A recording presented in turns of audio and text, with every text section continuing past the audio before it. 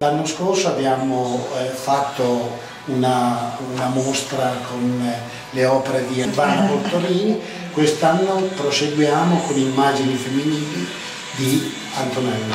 Quindi eh, grazie Antonella e niente, speriamo che vada bene la mostra, sicuramente io sono entrato però non l'ho guardata, voglio guardarmela eh, piano piano e per vedere proprio i tuoi tratti da artista.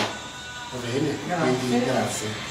Io sono molto contenta di essere qua, ne ho parlato con Federica, è un posto vicino, abito qua vicino, quindi per me è sempre molto emozionante stare vicino a casa.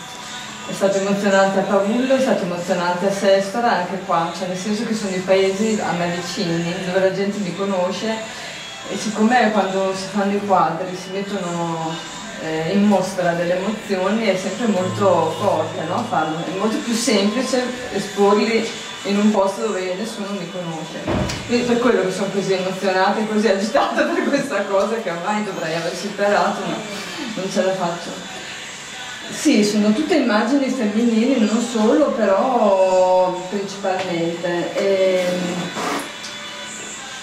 spesso mi chiedono perché io dipingo le donne, al di là del fatto che è da sempre che si dipingono le donne, cioè perché mondo e mondo i pittori dipingono i, quadri, i corpi e i visi femminili perché sono eh, molto più emotivi e molto più comunicativi normalmente di altre e poi perché sono una donna e quindi attraverso di loro io esprimo qualcosa.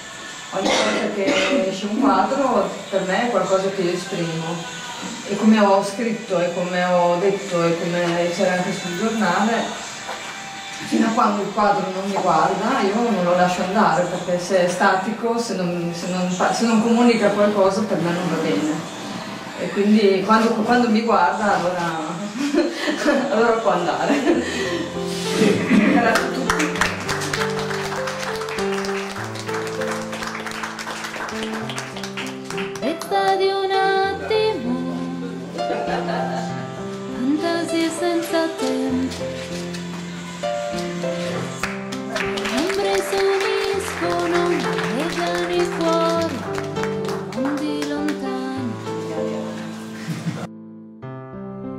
Rzec implacabile